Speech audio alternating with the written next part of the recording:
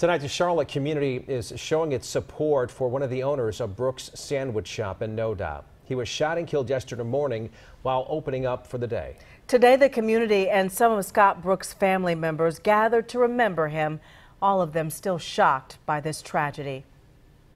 It's going to be really hard coming here and not working with him anymore, and he was a good man. Our Glenn Counts is live for us tonight in Noda. He went to the vigil at the sandwich shop. And Glenn, many people still have a lot of questions about this right now. Well, Erica, as you uh, might imagine, it was quite the emotional evening here. So many people just came up wanting to give this family a hug to and try and help them cope with this absolutely senseless crime.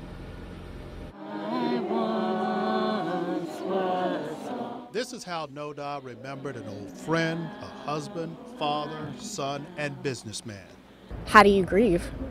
How do you grieve? There's so many questions. Um, it's it's hard. Police say that Scott Brooks was gunned down around 5 a.m. yesterday morning while opening up his sandwich shop. One look at this large crowd tells you that Brooks had a connection to his community that could only be explained by one word love. His mother was your Sunday school teacher? Back in the 60s. Wow. At Matthews Baptist Church. wow. So I grew up with the twins. Scott's twin brother Dave and other family members attended the vigil.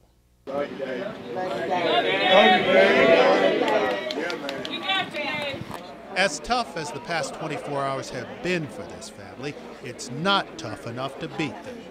My heart's broken, but my spirit's not broken. I see who's turned out tonight, and I appreciate all you. We are going to be back.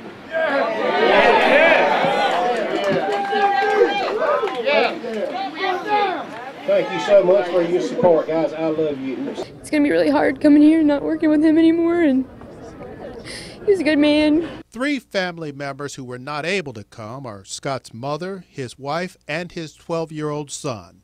We want to let them know that we are thinking about them and that we love them, and and uh, um, we we wish they were here, but we understand why it's going to be difficult. And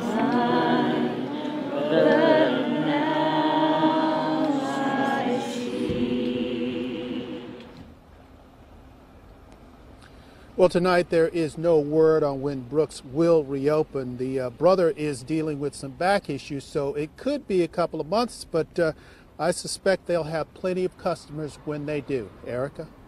And Glenn, I know a lot of people want to know if there's any update on the investigation into who killed Scott Brooks. Well, Erica, uh, police have made uh, some progress, obviously not as much as they would like. Uh, we believe that they're looking for more than one suspect, and apparently some of this was captured on surveillance video, but that video, we're told, is of very poor quality, so it's not of much use.